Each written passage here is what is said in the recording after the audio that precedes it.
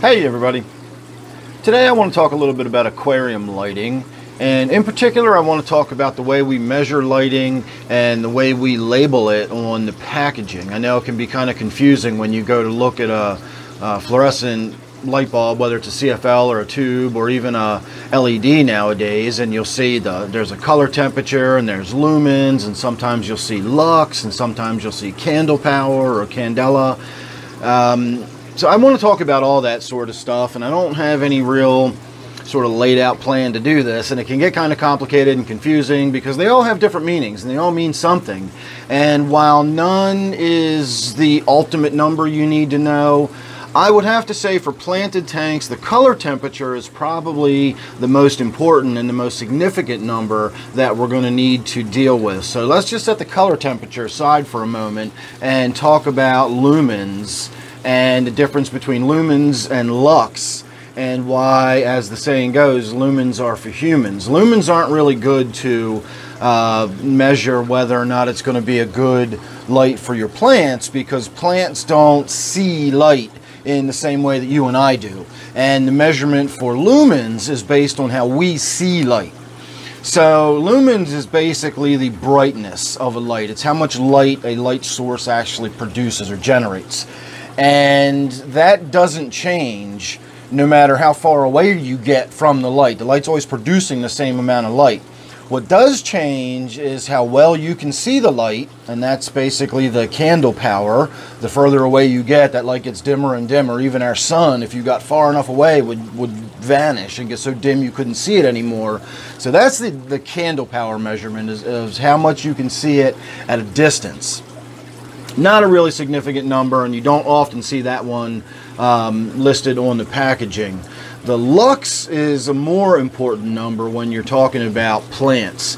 Lux is a measurement of how many photons are actually hitting the surface. And I'll spare you the details of how it's measured in a square meter and so on and so forth. But the lux is the measurement of how much light is actually hitting the surface of your plants and that's important the luminosity of a light bulb will not change. So if it's a 4000 lumen light it's going to always be a 4000 lumen light bulb.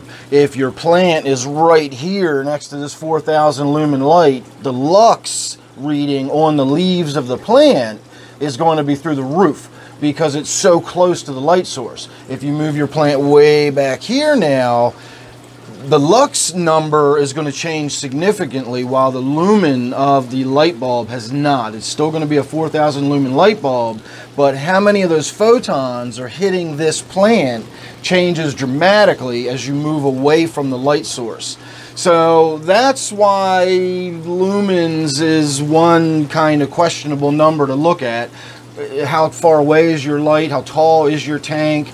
Uh, how, how much tannins are going to be in your water. There's a lot of things that separate your light source from how many photons are actually striking the surface of your leaves.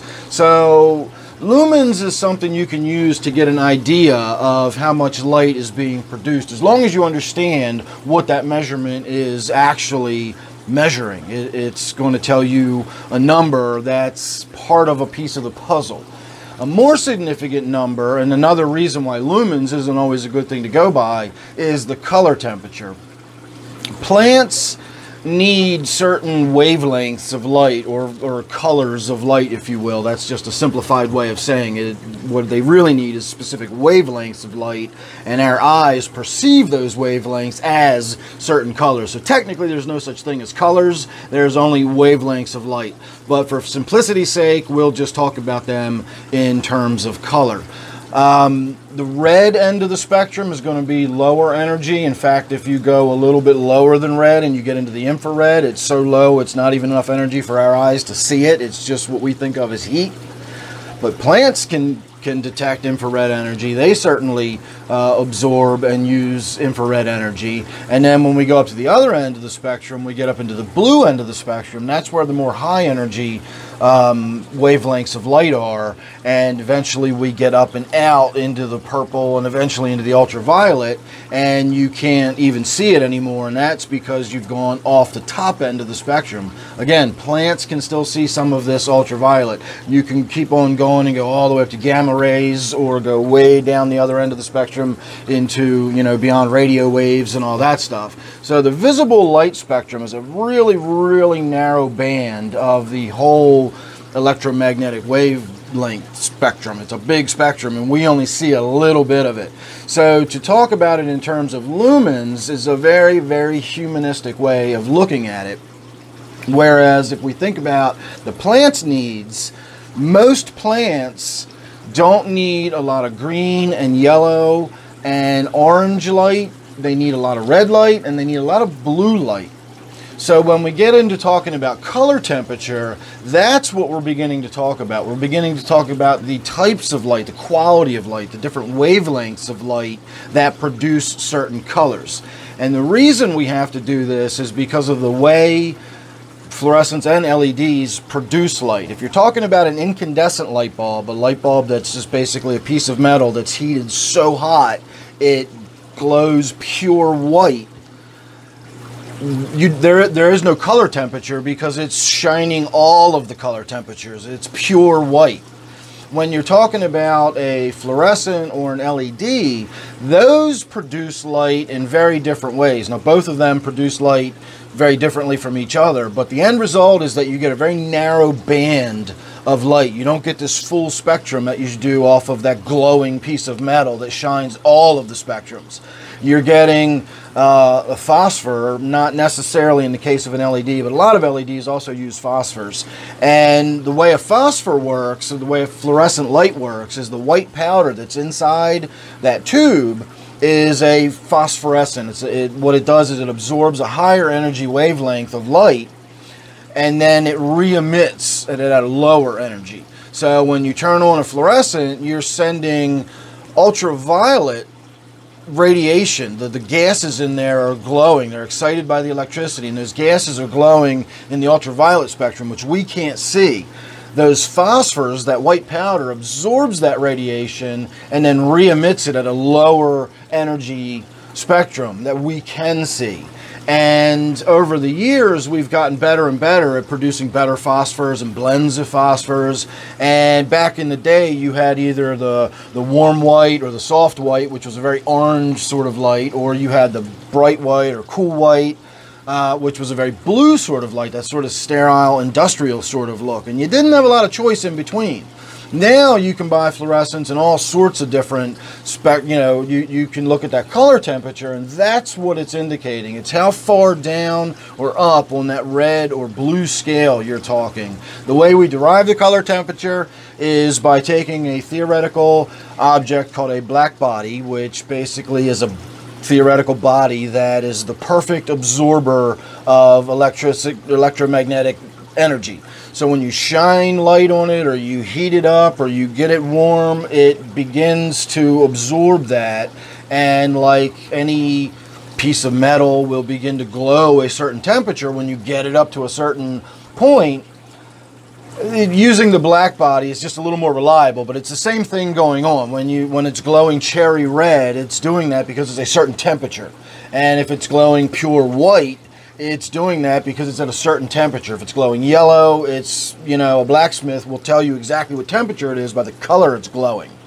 So that black body emitting the color spectrum that it's glowing from the energy it's emitting is where we get that color temperature and it's measured from eh, degrees Kelvin so we start at zero, absolute zero, and we grow all the way up to something that's glowing 2700 degrees Kelvin. I have no idea what that would be Celsius or Fahrenheit, but 2700 degrees Kelvin would cause this black body to glow at that sort of soft white or that soft sort of orangey kind of color that we know of or we think of as warm white or soft white. And then if you keep heating that black body up and it gets hotter and hotter and hotter. By the time we get up to 10,000 degrees Kelvin, it's glowing a bluish white color. and that's what we call it at 10,000 Kelvin or 10,000 K. Uh, 6,500 K is that sort of blue in the middle of the road. You get up to 14,000 Kelvin. It's actinic. It's like it makes your eyes water. It's so blue. It's what you put over a reef aquarium because they need really, really high energy amounts of light. So you use this really, really, really blue light, this really high energy light on a reef tank. And so that's where we get this color spectrum that we're talking about. So if we're going to be putting plants in a tank, we need to think about what spectrums of light do the plants need in order to grow. Not how bright does the light need to be, but what color does the light need to be. And most plants do best under 6500K color temperature. I know a lot of plants will, will utilize a lot of reds, but even the plants that use reds also need blue. And that's where you start getting into the, the problems with the fluorescents and the LEDs. You kind of sacrifice one for the other. If you want a lot of blue in your light, you're not going to get a lot of red, and vice versa. So if you want a tank that's got that nice, soft, warm lighting to it, and you put the soft white, these 2700K or these 3000K bulbs in there, you're not going to, your plants probably aren't going to do well because they need blue light. They need the higher energy wavelength of light, and you're just not going to get that with this low color temperature lighting. Even if you put a really bright 2700K light in there, you're going to increase the lumens, but you're not changing the color temperature, and it's the, the, the wavelengths of light aren't going to change. You're going to be making them brighter and more intense, but they're still going to be 2700K brightness. So that's where you're you're running into problems. That's where the difference between lumens and color temperature. The color temperature is more important.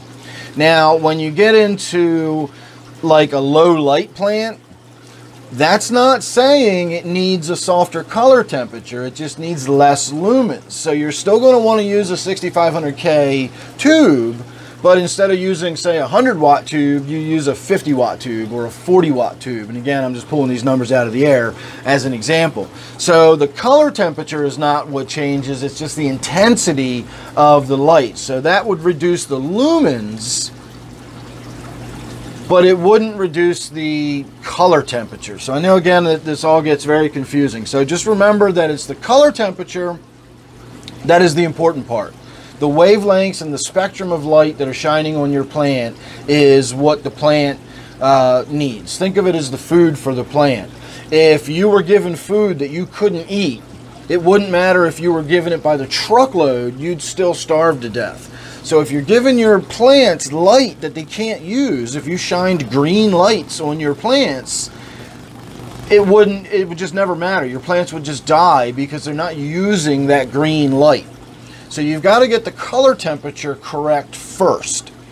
And once you're shining the right kind of light on the plant, then you need to determine how much of that light, and that's where the lumens would come in.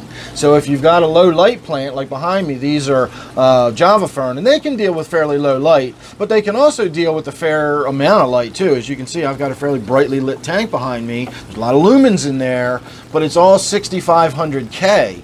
So they're getting the right kind of light and then they're just getting lots of it. So again, lux is probably not something you're going to need to worry about, but lux is basically the measurement of how much light is striking the leaves of your plants.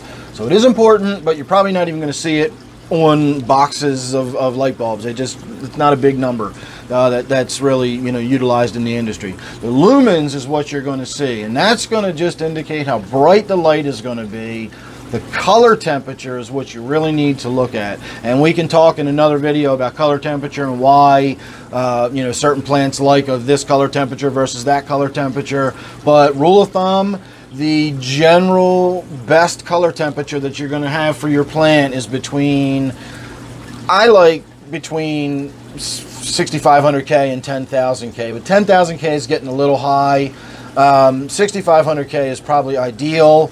If you can't find 6,500K and you got to go lower than that, I wouldn't go any lower than 5,500K. Once you start getting down into 5,000, 4,000K, I know it looks nice. Again, plants don't see the light in the same way you and I do. So while the 5000K or the 4000K might look nice to the plants, I mean, you know, to you, it might look nice on the plants and make your tank look pretty. Your your plants may not be getting all of the light that they need. So the, the 6500K is probably going to be your best bet to go with as far as color temperature. And then you can scale how much wattage, you know, how bright the light and the, the luminosity is going to be based on how many watts the light is. The higher the wattage, the brighter the light's going to be. And that's going to be your lumens number. So a low light plant needs a lower wattage but it needs the same proper color temperature. So I hope that didn't make anything any more confusing and maybe cleared some things up. So if you got any questions, please leave them down below.